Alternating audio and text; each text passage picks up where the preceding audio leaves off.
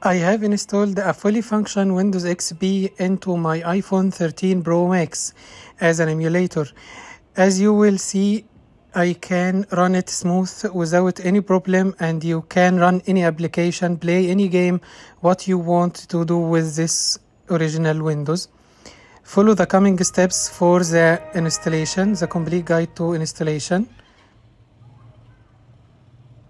The first step is to download UTM from the App Store. Open the App Store and type UTM, then search for it. You will find two versions, one for PC emulators and the other one for virtual machine. Download the one for PC emulator, as you can see in the screen. Wait about two or three minutes to get the download completed. Its size is 1.66 gigabytes.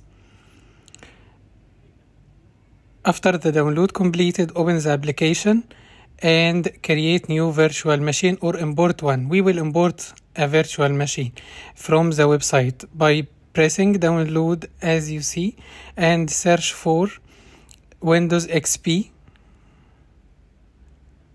Here is the version.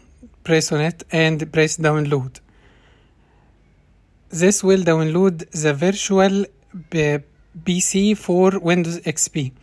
Open the application again. The files folder, press on the downloaded Windows XP emulator, PC emulator.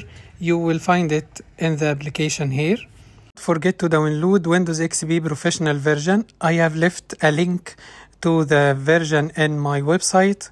You will find the link to that version in the video description. Now load that downloaded version by pressing in CD and DVD and selecting Windows XP or the downloaded Windows XP. Here is the setup, a simple setup as you can see in your PC, okay? Press enter, then select unpartitioned space, then select NTFS uh, uh, formatting.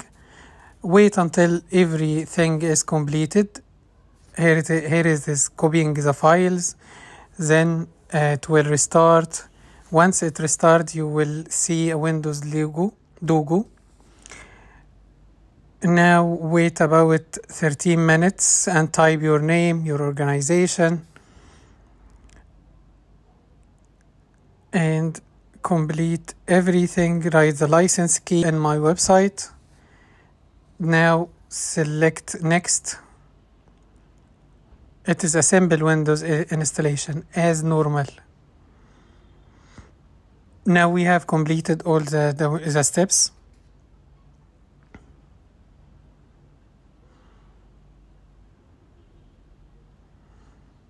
Welcome to Microsoft Windows. Select not right now, type your name. Now you have Windows XP into your device. It is a straightforward process. Uh, you can select the date, press start and play games, solitaire, any game you want. Like that. Thank you for watching. Don't forget to subscribe to the channel and visit my website iTech for Mac for new tutorials. Thank you.